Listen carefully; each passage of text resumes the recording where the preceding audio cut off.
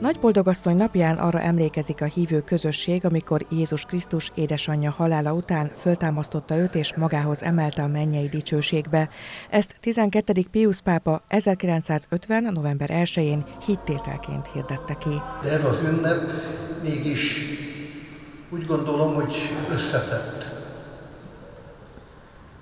Hiszen ahhoz, hogy Mária fölvétessen a mennybe, végig kellett járnia a földi életet, amely nem volt könnyű az ő számára sem.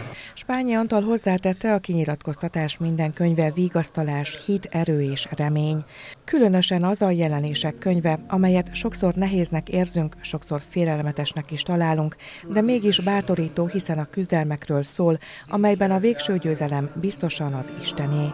A megyés püspök beszélt arról, hogy Isten a teremtésben jónak és szépnek teremtette a világot, nem volt helye benne a bűnnek, semmi ártónak. Aztán, amikor az asszony világra hozta a gyermekét, az ártó pusztítani kezdett. Az ember a világra eresztette a gonosz lelket. És most ettől kezdve nekünk küzdenünk kell a jóért, a rosszal szemben. Együtt van a búza és a konkoly.